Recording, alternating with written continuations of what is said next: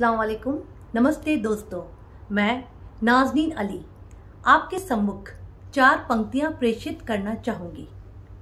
जब गम के बादल छा जाएँ, जब गम के बादल छा जाएँ, चेहरे भी सब मुरझा जाएँ। जब गम के बादल छा जाएँ, चेहरे भी सब मुरझा जाएँ।